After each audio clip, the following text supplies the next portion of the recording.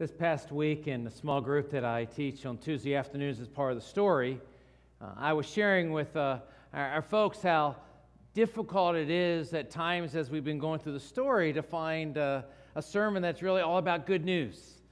Uh, it seems that each week it's, it's more the same of, of discouragement, of sin, of failure, of, of trying and, and not making it. And so this week we get to another one of those stories where we find ourselves uh, in the midst of wondering uh, is there any good news in the midst of this? And, and it's good in this week that we, we discover uh, King Hezekiah.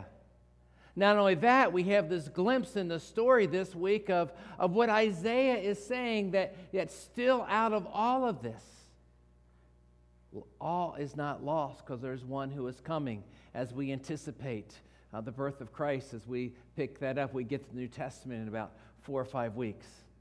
And so, where we are in the story, uh, we're sort of in Second Kings in your Bible, uh, where we've reached that place where Israel is in the, is in the north and, and uh, Judah in the south. The kingdoms are divided.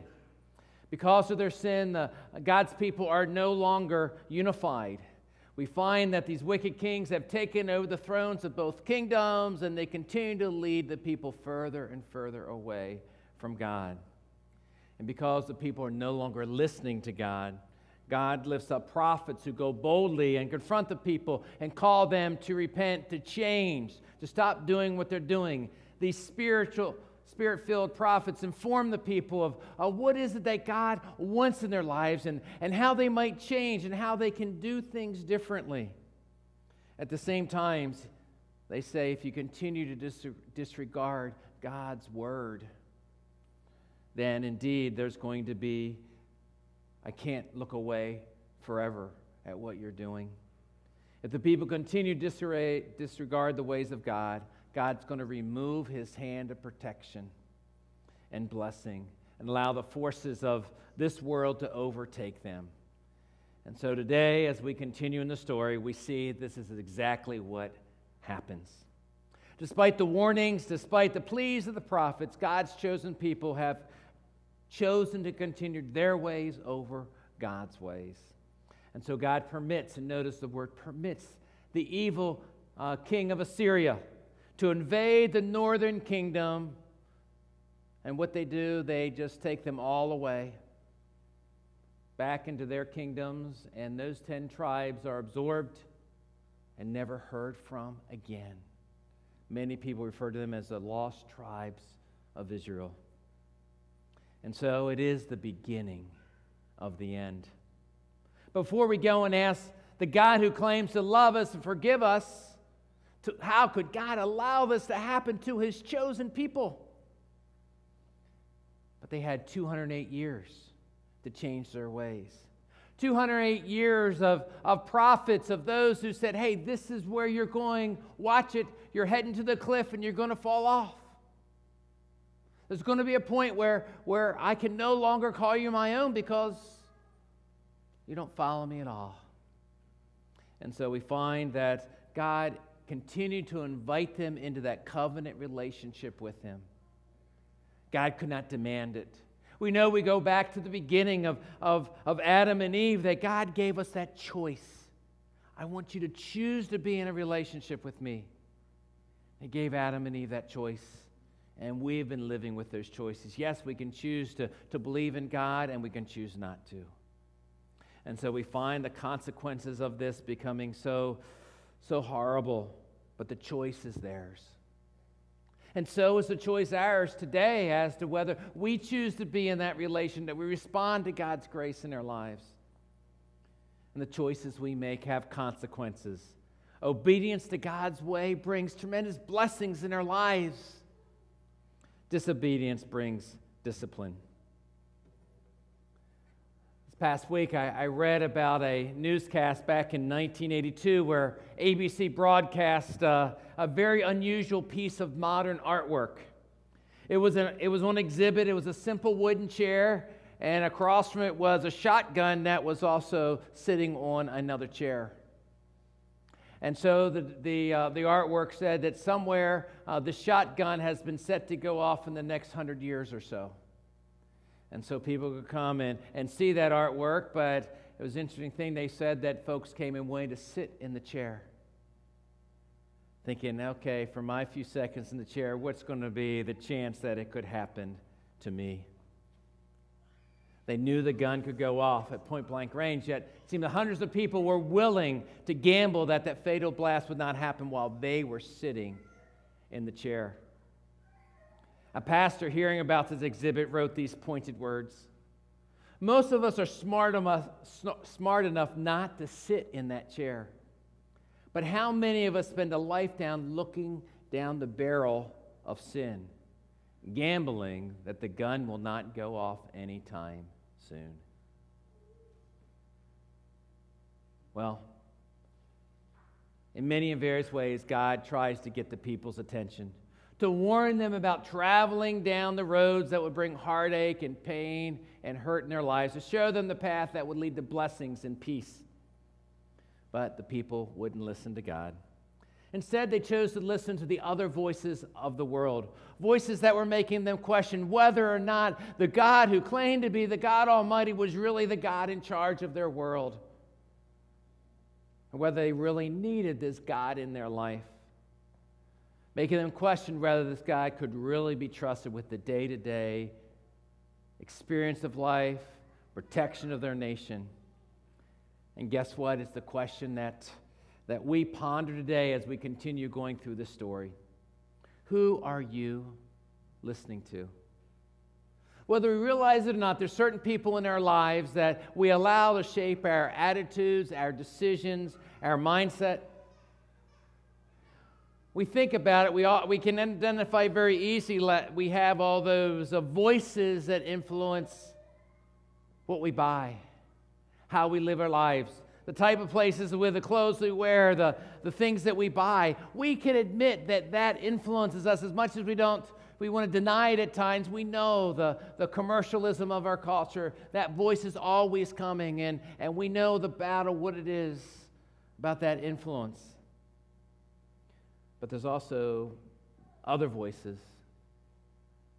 People that, are, that in our life speak and we listen to their voice.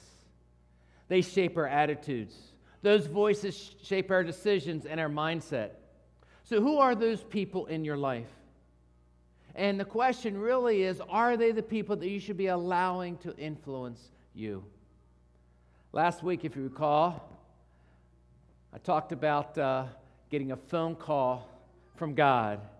And I have my phone off this week, so uh, there won't be any phone calls coming in. But at the end of the service, I asked you, you know, if God was on your uh, screen as you picked up the phone, would you answer it? And God is calling us. What I didn't say is that there are many other folks who are calling into our lives. Many phone calls from many people who want to influence us, that we have allowed to influence us. And do we take those calls? And yes, and, and do we allow those phone calls to influence us, those relationships? We know that every four years, whoever's the president of the United States pulls together a group of advisors called his cabinet. And we know, looking through history, that the people that the president picks for his cabinet are the people that he is going to listen to. The type of people that are around the president, we can pretty much expect that, that they're going to be the type of policies and, and, and, and focuses that that president has. We understand that. And so, as the president does that, uh, I'd like us to think about who are the cabinet of people that we have invited into our lives. Who are those people that uh, we have invited in that we choose to surround ourselves with? Who are the people that, when you have a tough decision to make, that you call? You say, Hey, I'm really struggling. Help me to do that. People who influence our attitudes, our decisions. Do we know who those people are in our life? Do we realize that the influence that some of them have, good or otherwise? Are they the right kind of people to influence you? if you're a parent or a grandparent or you have uh, some young people in your lives, you realize uh, what happens when that child gets to that place where they choose to stop listening to who had been the authorities in their life. You know, they stop listening to mom and dad because we don't know anything. I don't know what age it happens for your children, but uh, you know, it happens in different ages. And then who do they turn to? To all of their other wise 12 year olds all those 16 year olds who really have figured out what life is all about. It doesn't, it can be 22, it can be 42, it doesn't really matter, but you've seen it where you've seen it in other folks with, well, he's doing this, she's doing that because that's their best friend, and that's what they like to do. And he or she is a follower rather than a leader, whatever we say, and we've seen that. It's always easier to see it in somebody else, isn't it? rather than ourselves at times. I mean, I look back in, those, in my life and, and uh, you know, looking at some of the folks in those vulnerable times of life that you allow them to influence. You know, for me, it was, uh, it was in middle school. You know, there were some kids, and it was just going down that path of, because I wanted to fit in. And, and we, we follow people for different reasons along the way. And so along the way, we transfer the authority from whoever it was important in our lives to somebody else. And that's a natural part of growing up where, where you begin to find yourself. But such a transition makes us parents, grandparents, aunts and uncles, teachers, pastors, youth leaders a little bit nervous because we know too well the kind of people that, are, that can really take advantage of the folks that we love. And listening to them can have a, a, a really bad influence on their life, or it can have a really good influence on their life. The question is people influence us. Are we going to choose the best people to do that? During the American Revolutionary War, a letter from the governor of Boston was sent to King George in England. The letter said, If you ask an American who his master is, he will say that he has none, nor governor, but none but Jesus Christ. In other words, the governor of Massachusetts would say that the people that he knew and that in the back in those days they would listen to Jesus Christ. How things have changed. Can we say that about our own lives? No one influences my life but Jesus Christ. Jesus Christ is my king. No one governs my life but Jesus Christ. Can we honestly say that? Is that our heart's desire? Is that the, it may not be there, but is that where we want to go? Because when we think about that, if that's the place we, we want to be, then we've got a king to look at today that models that so well for us. King Hezekiah, cannot, we can honestly say, was the only person that was willing to give his ears and his heart an allegiance to the Almighty God. See, there was a candle of light in the midst of this dark time of Israel. Hezekiah became king at the age of 25. How many would you love to be king at age 25? A lot of 25 year olds think they're king. That's the problem. I remember, uh, I mean, I was a pastor my first church at age 25. They survived uh, that. I didn't quite, but uh, I had to learn a lot. The fact that King Hezekiah was so successful believes me, he invited wise people around him.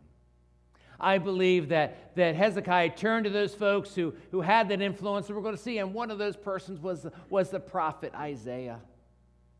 But I believe he chose to surround himself with a group of God fearing people who offered him wise wisdom, counsel based on God's word.